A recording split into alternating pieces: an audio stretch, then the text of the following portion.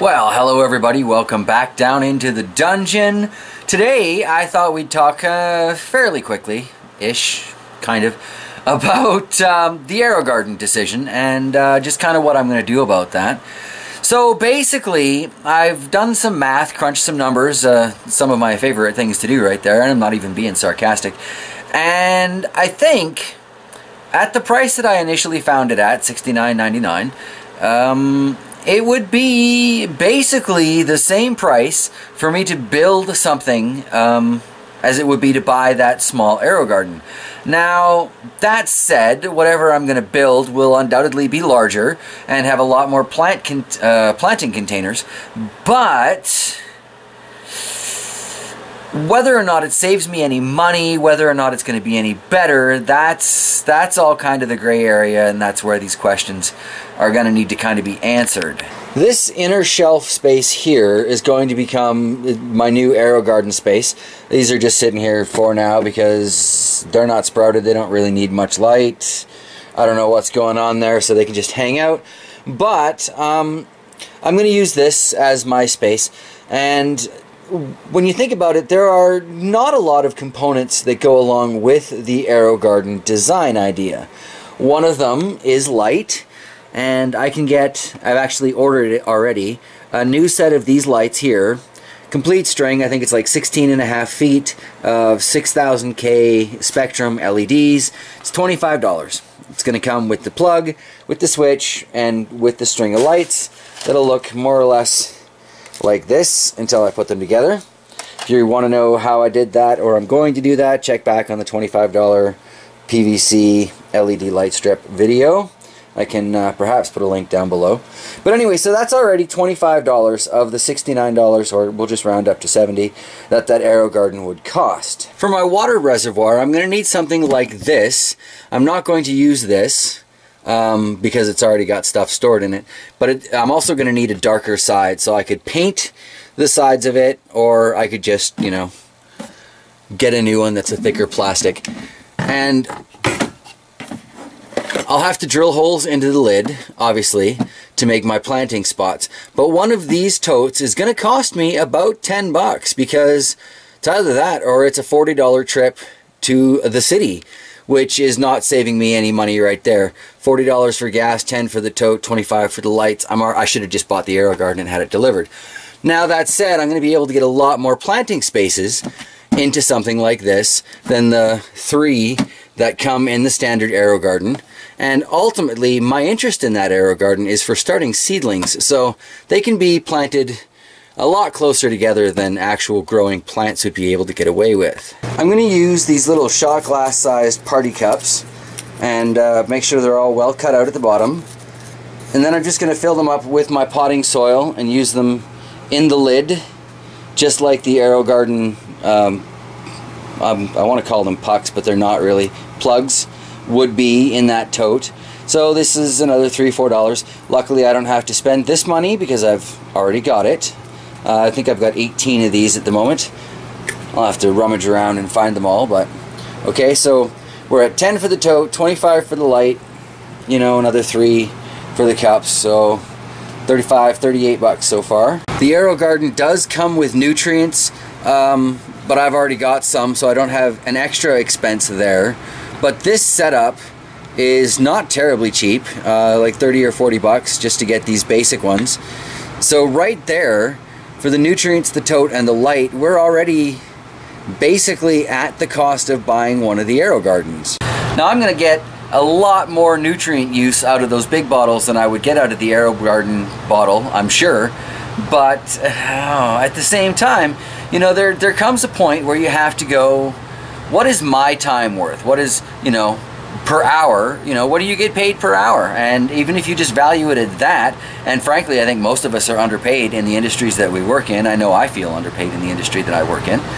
Um, so, what's that worth to you? What's minimum wage even where you are? You know, it's like $11 here, it's $15 in some states. So, once you start factoring your time into the build, you're really getting very, very close, if not exceeding that $70 mark. So the question is, is it better to DIY something for about the same price because it will have more planting positions, or is it better to buy something that is completely assembled and ready to go? In the case of the air AeroGarden, it's um, I'm going to do both. Honestly, I, I I have given it a lot of thought. I've had a lot of comments come back to me on that particular video. The vast majority of people clearly want to see me build something. So that is what I'm going to do because that's kind of how I do things on this channel anyway. But the truth of the matter is, I do really want one of those stupid cute little gardens because I want to see how it works the way they built it. Um, so yeah, I'm going to have more space with the one I build, but is it going to be better? I don't know. You know, with those costs that uh, I was mentioning, I'm going to need to get another air pump. So that's probably 10 to $15 right there. Again, that's taking us up to and beyond the, the sale price that I found for the aeroponic garden. It's better than the 120 that they're charging for it now, not on sale, absolutely. And like I said, it's gonna have more planting spots. But at 70 bucks, where I initially found it, once you factor in lights, tote, timer, because you'll need a timer for the lights. I mean, I'm just going to plug straight into my same old timer as everything else is plugged into. But if you were building one from scratch, you would need to get that. You'd need to get your air pump. You got to get your tote. You're possibly going to have to get a hole saw. I'm lucky because I got a multi-size hole saw and I think one of these two will be the right size to drill through for my uh, little shot glass party cups. But ultimately, I think if you can find it on sale for that price, you're probably doing all right as far as what you're getting for your money. And when you consider the fact that most of you guys who are watching my videos are down in the States, these things are even cheaper. I had one fella tell me, I think it was a fellow anyway, so hard to tell with some of these YouTube names, but I had one viewer comment that they found one of these at Walmart for $25. So for $25, there is absolutely no way that I could build that. That is the cost of my LED string of lights. So, yeah. I am going to set it up. I am going to DIY one. And I am going to buy one of those little ones when I see it on sale again. I'm a fairly patient-ish guy. So I'm prepared to wait until that sucker comes back down to $70 because I am also a fairly cheapish guy and I'm not prepared to pay 120 bucks for something that I saw for 70. Not unreasonable, I don't think. But will one be better than the other? I don't know. We're going to have to do a side-by-side -side growing comparison before we really have the answer to that question. A lot of the time, it does work out to be a better deal to build something yourself because it's going to be better or it's going to be larger or it's going to be just plain cheaper or you've got the satisfaction of hands-on production of something. You've got a pile of parts when you start the day, and you've got an assembled project when you finish the day. That has value. That is a wonderful feeling, looking, you know, oh, I made this, I built this, yeah, I feel good about me. But at the same time, time is money, and I'm just not entirely convinced that DIY is always cheaper. I have a lot of things laying around. I'll probably be able to use some of those things instead of buying parts for my version of an AeroGarden.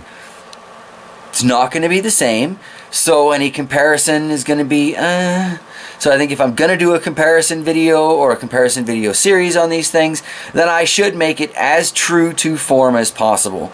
So that as much as I wish I could tell you, yeah, it's going to be so much cheaper for me to build it this way and it's going to be infinitely better and all of that stuff, I can't with um, any sense of uh, moral composure say that that is the case. I, I honestly think I'm going to end up spending about the same for both of them. I don't have a second air pump. I have to order new lights. I have to get a new tote. It doesn't sound like it's adding up fast, but it actually does. I think really the biggest advantage to DIYing anything is the ability to piecemeal. You can buy the air pump off of this check and the light string off of next check and the tote off of next check and you know in that way you can slowly put together the pieces that you need to build what you want. In that aspect DIY is absolutely superior to trying to buy a completed project. In my case I am saving up pennies from that Swagbucks site, which, by the way, I'm going to throw another link down below to that because I got um, $38 in Amazon.ca gift cards out of that basically in the month of February. And that's not including referrals or anything. That's just watching videos and answering surveys.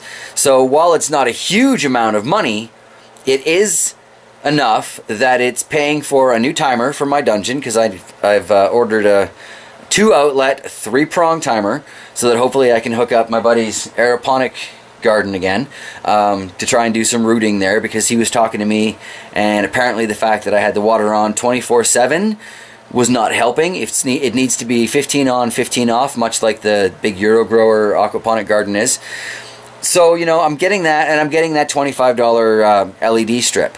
So that is already coming out of the Swagbuck stuff. So that's not cash that I'm paying out. So that's great. That makes this aspect of the DIY project a little bit cheaper, a little bit easier. But that said, at the same time, my plan was to save up those Swagbucks and just buy the AeroGarden with that. So it's not like I would have been spending any actual money out of my pocket to do that. It's just money that could have gone towards something else is going towards something garden related. And let's face it, almost any spare cash that I get goes to something garden related anyway, or snow removal related. It really all depends on what time of the year it is. So as to when I'm going to start my DIY AeroGarden project, I'm not sure. It really all depends on when those lights get here in the mail.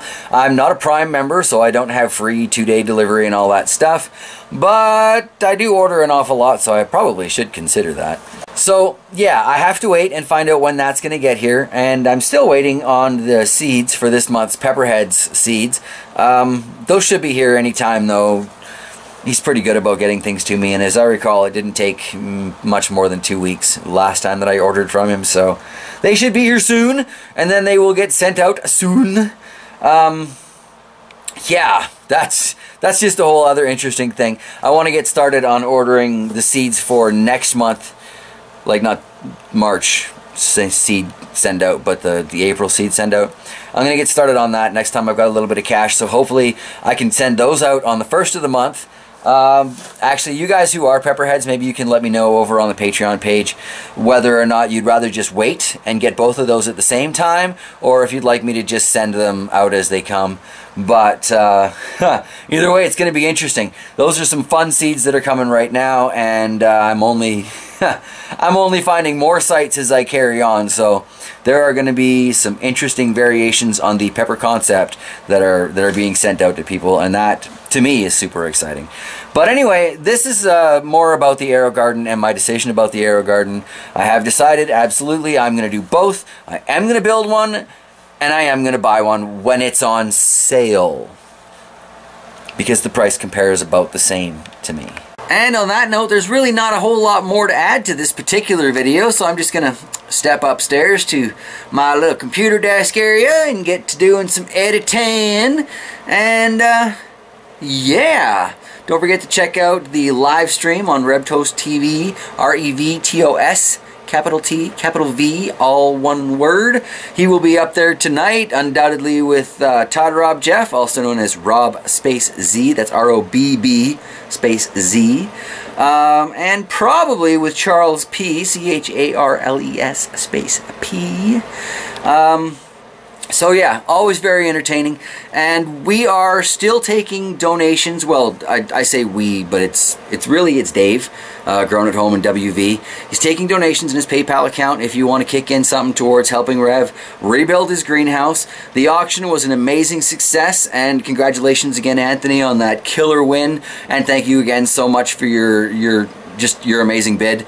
Um, that in and of itself should be enough to get new plastic on Rev's greenhouse. But honestly, I'd like to, to see us as a community drive donations to a point where he can build a solid greenhouse. Because if you've been watching Rev's channel as long as I have, which is a long time, possibly even longer than I've, I've had an actual running channel. I'd have to check back and find out about that for sure. But um, you, you will have seen that he has unfortunately, his greenhouse has been trashed by the wind so many times that he really needs a solid structure. So if you're in a, a giving mood and you're, you're feeling like it, contact Dave S. over at Grown at Home in WV. He'll give you the particulars on how to donate. I believe donations are being taken up to and including tomorrow night.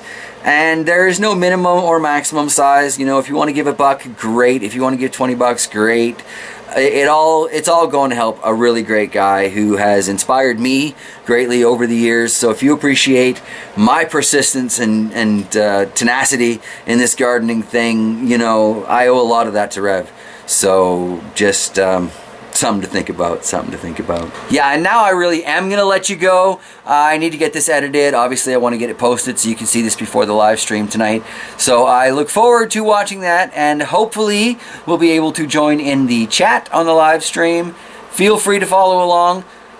Feel free to speak up. It's always uh, it's always more fun when everybody who's watching kicks in their two bits in that chat stream it gets kind of crazy sometimes, and it's always fun to see what Rob, the voice of the people, Z, will and will not read. So, yeah, apparently there are seven words that he won't say. So, I I can only assume from listening to Anthrax as a younger man what those seven words must be.